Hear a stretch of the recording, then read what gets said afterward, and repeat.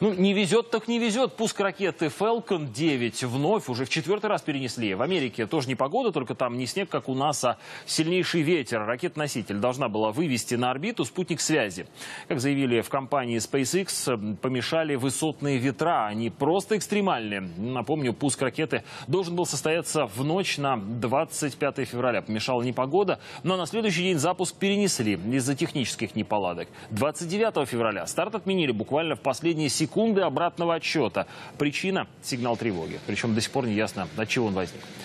Частная компания SpaceX пытается сделать части ракет многоразовыми. Это значительно удешевит космические полеты. Однако из нескольких запусков вернуть первую ступень целой и невредимой удалось только один раз. В остальные модуль терпел крушение.